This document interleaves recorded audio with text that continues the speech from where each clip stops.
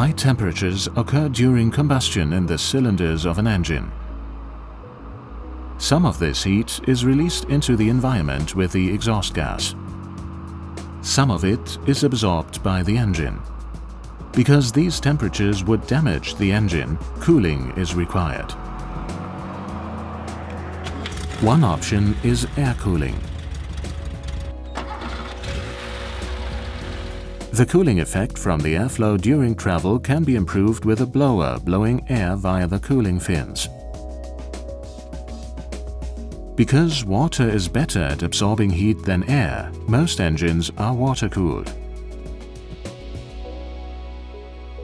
In this case, the cooling liquid, a mixture of water, glycol and various additives, absorbs the heat from the engine block and cylinder head and releases it into the ambient air via the cooler. A pump is required for transporting the cooling liquid. This water pump, also known as coolant pump, circulates the cooling liquid around a closed circuit. Mechanical water pumps are located either externally in their own pump housing or are flanged directly on the crankcase. They are usually driven directly by the engine. This direct connection to the engine speed means that the power consumption increases with the speed. But even during idling, sufficient engine cooling must also be guaranteed for all operating states. Even if you get caught in a traffic jam on a hot summer's day after driving at full throttle on the motorway. The engine must still not overheat during idling. Conventional water pumps are therefore oversized for most operating states. There are different approaches to reducing the power consumption of the pump to reduce the fuel consumption and emissions.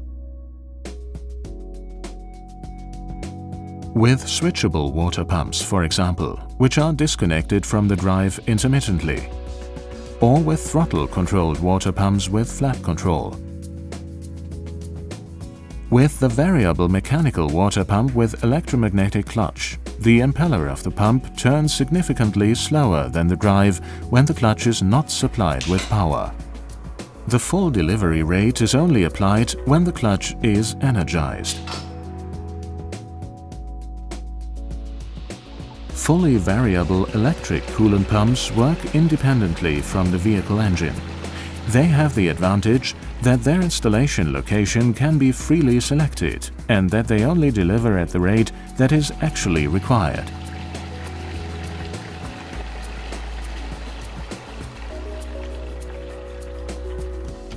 To bring the engine up to operating temperature quicker, for example, the electric coolant pump initially delivers only a little or not at all.